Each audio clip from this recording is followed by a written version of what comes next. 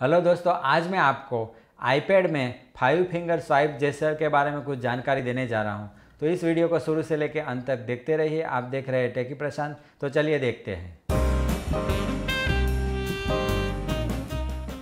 दोस्तों, ये जो फाइव फिंगर स्वाइप जेसर जो है वो एप्पल के आईपैड में इम्प्लीमेंट होता है। इसे मल्टीटास्किंग जेसर भी कहा जाता है। आप इसे फोर फिंगर से भी स्वाइप कर सकते हैं फाइव फिंगर से भी स्वाइप कर सकते हैं। यानी दोनों में वो सेम जेसर ही एक्टिवेट होता है। फॉर एग्ज़ाम्पल अभी मैं ये नोट्स एप्लीकेशन मेरे सामने खड़ी है और मुझे दूसरी एप्लीकेशन में स्विच होना है तो मुझे क्या करना है? फोर या फाइव फिंगर जो भी कन्वीनियंट है, उसके हिसाब से मुझे यहाँ पे टॉप पे स्वाइप करना है। तो जैसे मैं टॉप पे स्वाइप कर रहा हूँ तो आप देखेंगे कि यहाँ पे जो मल्टीटास्किंग का जो बार आ गया और जो मल्टी एप्लीकेशन है, वो आ गए। और यहाँ से मैं कोई भी दूसरी एप्लीकेशन में स्विच हो सकता हूँ, जैसे मैंने यहाँ पे मैप एप्लीकेशन में स्विच हो गया। अगर मुझे फिर से दूसरे एप्लीकेशन में स्विच होना है तो कुछ नहीं करना है, सिर्फ़ four finger at least four finger होनी चाहिए। फोर फिंगर से मुझे टॉप में स्वाइप करना है। जैसे स्वाइप किया एप्लीकेशन का लिस्ट आ गया और दूसरी एप्लीकेशन में स्विच हो सकता हूँ।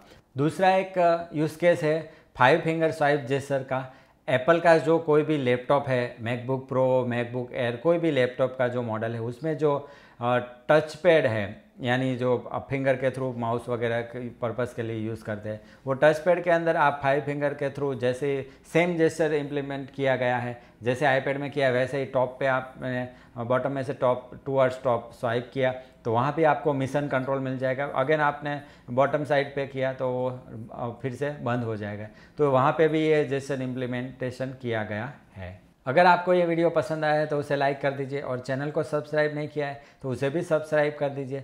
सब्सक्राइब करने के बाद जो बेल का आइकॉन आता है, उसे भी टैप कर दीजिए। तो जब भी मैं नया वीडियो अपलोड करूँगा, तुरंत ही आपको अपने डिवाइस में उसका पोस्ट नोटिफिकेशन मिल जाएगा और आप मेरा नया वीडियो देख पाएँगे। आपका बहुत बहुत धन्यवाद।